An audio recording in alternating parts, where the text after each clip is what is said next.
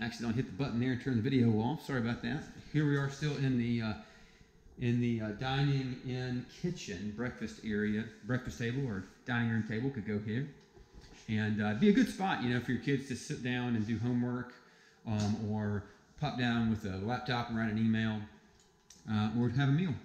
And then we've got the back door right here, and we've got washer dryer connections.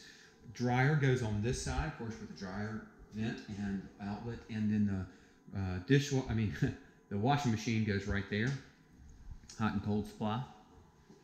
And uh, you kind of from this perspective again on the kitchen. This looks so good. I didn't want you to miss it.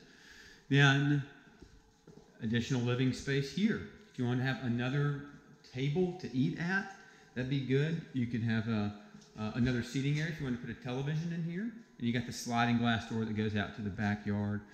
Uh, here's another perspective of the uh, living room.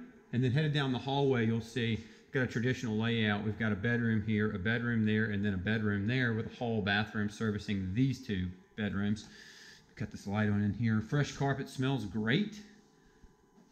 And uh, got got uh, I said new mini blinds, new fans, new fixtures, new paint. Kind of new, new, new. Show you the bathroom right here. Got a, a full bath and it's got a tub, brand new commode, new flooring, new mirror and light kit. Hall bathroom with a tub. And then we got bedroom two.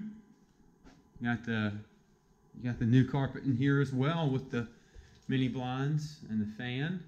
And uh, can't sleep without a fan. I always love having a fan.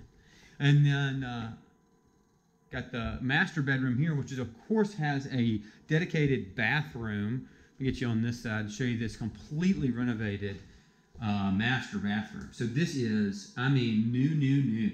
Got a new mirror, got a new light kit, new towel bars, new uh, cabinet style sink, brand new commode, all new fittings, all new hoses, brand new shower and bathtub, surround and uh, brand new tub no one's ever used.